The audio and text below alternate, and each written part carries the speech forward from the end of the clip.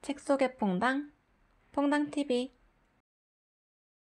띠아라 메뚜기, 다시마 세이조 글 그림, 정근 옮김, 보림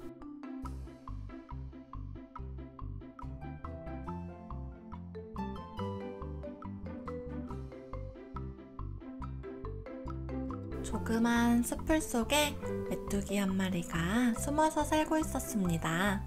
그런데 여기에는 아주 무서운 녀석들이 메뚜기를 잡아먹으려고 노리고 있었지요.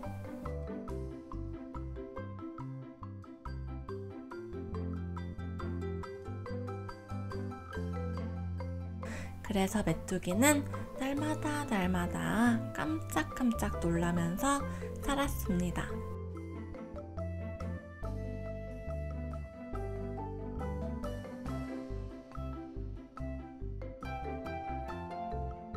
메뚜기는 이런 곳에서 겁먹고 사는 것이 몹시 싫어졌어요.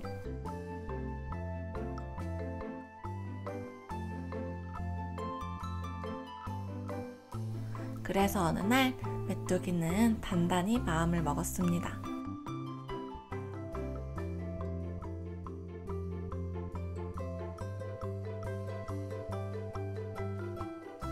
메뚜기는 커다란 바위 꼭대기로 나와 대담하게 햇볕을 쬐기 시작했어요. 이렇게 하면 금방 남의 눈에 뜨여 잡아먹힌다는 것을 알면서도 말이에요.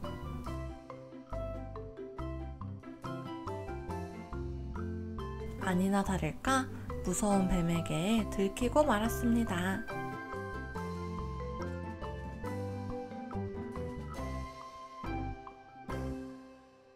바로 그때 사마귀도 메뚜기에게 달려들었습니다.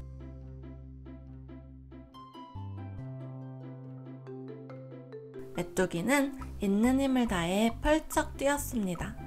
그 바람에 뱀은 온몸이 오그러지고 사마귀는 산산조각 났습니다.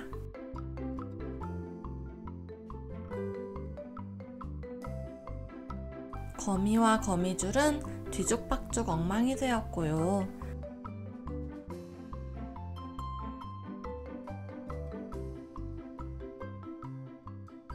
날아가는 새는 총알을 맞은 줄 알았답니다.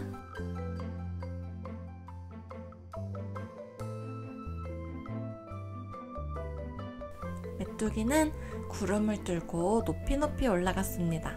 그러나 더 이상 올라갈 수는 없었어요.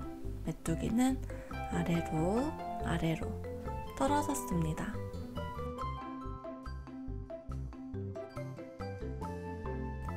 메뚜기는 자기 등에 있는 내장의 날개가 생각났습니다. 날개를 써본 적은 지금까지 한 번도 없었지만요.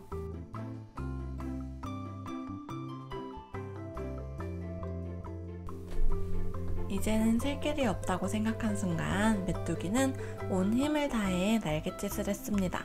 갑자기 몸이 가벼워지면서 위로 떠올랐습니다.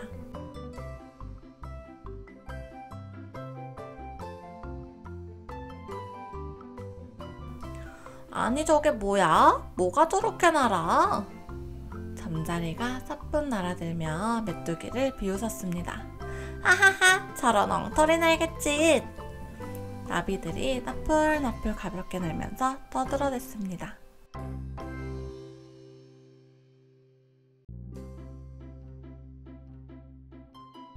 하지만 메뚜기는 누가 뭐라고 해도 모르는 척 했습니다.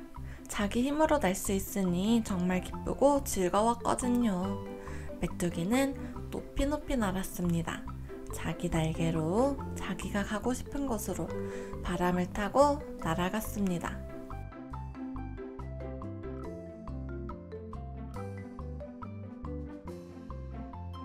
메뚜기는 황무지를 지나서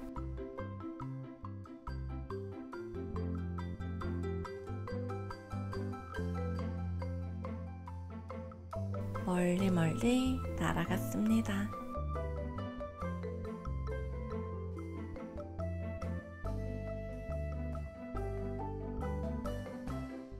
무섭지만 익숙한 곳에서의 생활을 벗어나 새로운 삶을 찾아 떠난 메뚜기. 위험을 무릅쓰고 도전한 메뚜기는 더욱 안전한 환경을 찾을 수 있었겠지요. 우리도 나의 행복을 위해 당장의 두려움을 극복할 수 있는 용기를 가지고 지내기로 해요. 그럼 다음 주에 만나요. 안녕.